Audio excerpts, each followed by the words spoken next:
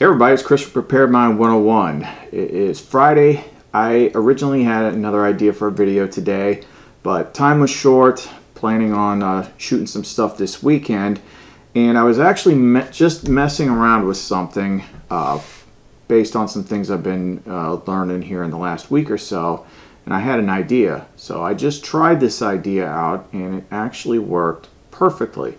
So I'm going to go ahead and share this with you and it's very simple. I'm going to show you how to take a belt that you might already have and turn it into an escape and evasion kit. So don't go away.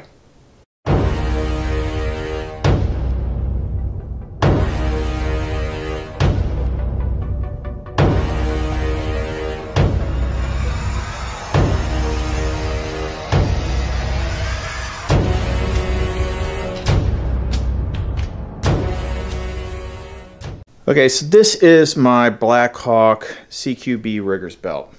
I've been talking to uh, Jack from Black Scout Survival a lot lately, and I was actually studying some other material from a guy that was trained by the same guy that trained Jack, and just looking around at all the different kind of urban type new skills that I could possibly mess with. And I was playing around with some stuff that uh, I got from Jack, uh, some lock picks, and that got me playing with other things, and now I've been obsessed with just picking locks and all sorts of fun stuff lately.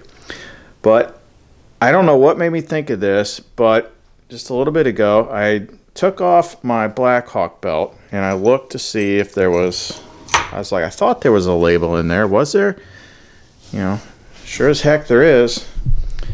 So here's what I did. I wanted to. I, I was carrying some of these tools taped to a library card in my wallet, but it's like, you know what? That's not the best place for it. This would be, and I can hear the the cynics already, but this stuff is not intended for escaping from lawful custody. This isn't intended for getting away from the cops or anything like that this is good for people that travel overseas where you know tourists are commonly kidnapped and things like that or just to cross one more thing off your list when it comes to preparedness. Because this is something that you can literally make and then just not even think about it anymore. But let's just say for instance something happens and you're kidnapped. You're you're maybe you're handcuffed maybe you're duct tape behind your back. I mean, whatever. Come up with come up with a scenario. Here's what I did. I took a razor blade and I cut the stitching on one side of this. And I wanted to make sure I didn't lose anything, so Gorilla Tape is the best thing to seal this off with. You got me, and this is and when I was trying to figure out which side I wanted to cut, I basically had to put the belt on and see where the label was in relation to being on my back. So all I got to do is peel that tape off and attached to a little piece of wire I put an a Havalon uh, skinning blade. I think this is the 60 XT.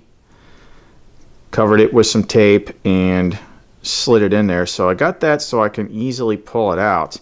Now you may say to yourself, well now you got it all covered with tape, so now what?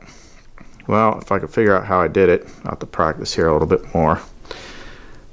But I folded over the tape on one side course, you could just twist it and cut your way out because it's got that sharp edge. I'll go ahead and do that and then I'll just have to retape it. But originally I had folded over one side so I could peel it apart.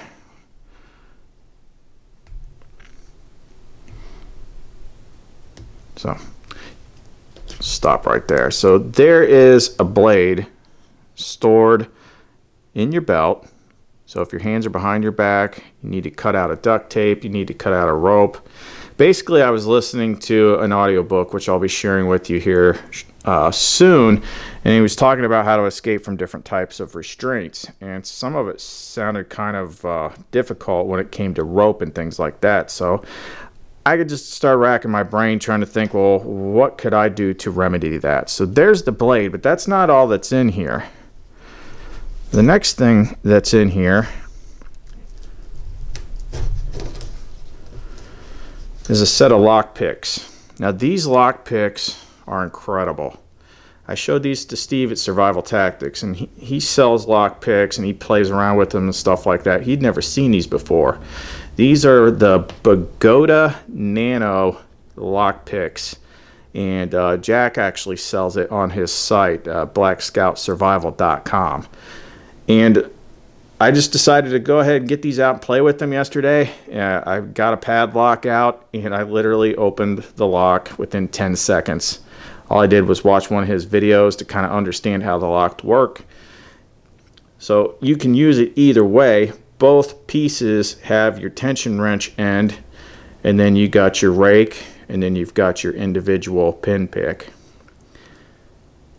But having never picked a lock before in my life, yesterday I was able to repeatedly pick uh, padlocks and get into my house. So guess what? I got to do next week.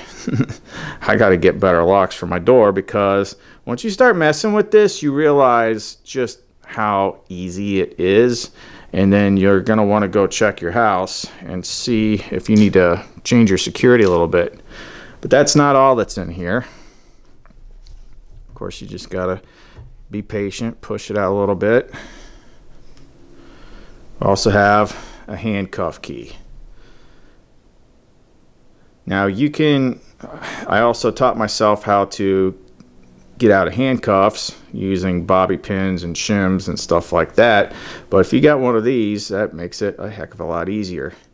That's to deal with the lock or the, the double lock, and then that's the key lock, obviously. So right there, all that all that stuff right there was fits easily behind and, and, I know most tactical belts that I've seen have some sort of label on the inside of them. So why not utilize that? Uh, even if it's just a handcuff key or a blade or, or just some extra little piece of gear in case something happens. I mean, what if ninjas attack? Everybody loves the what if ninjas. And you want everything at your disposal to help get yourself out of being tied up.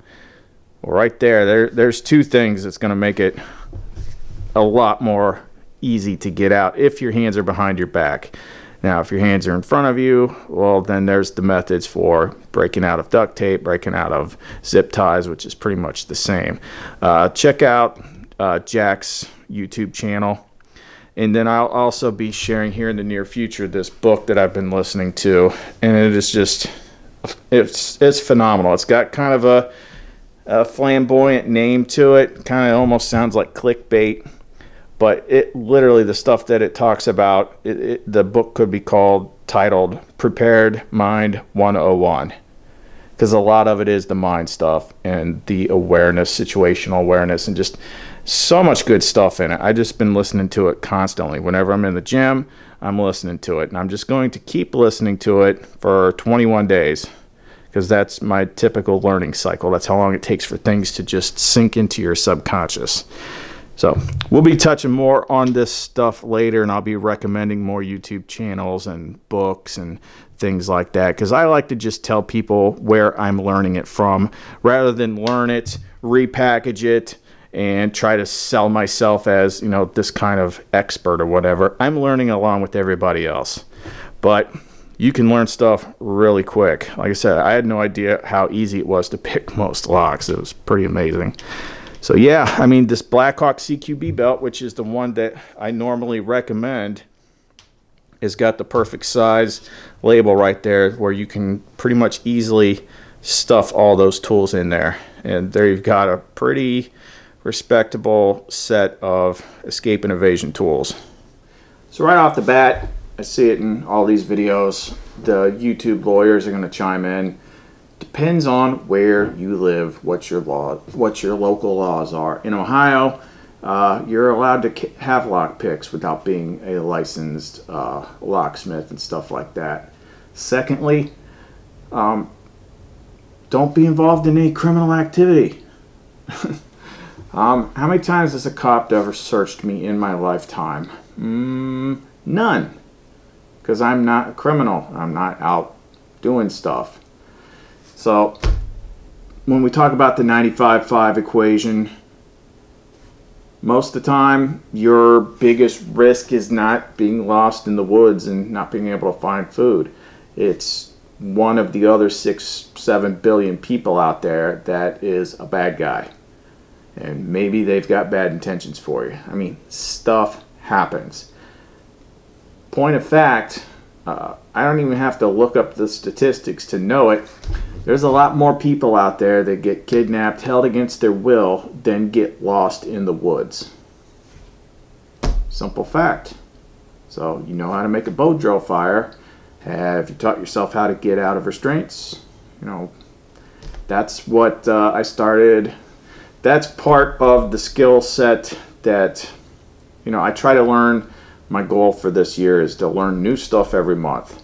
And I started this one, I, I wasn't really going in a calendar month, but about two weeks ago, I started studying some new stuff. And, you know, it's just, a lot of it is just really easy.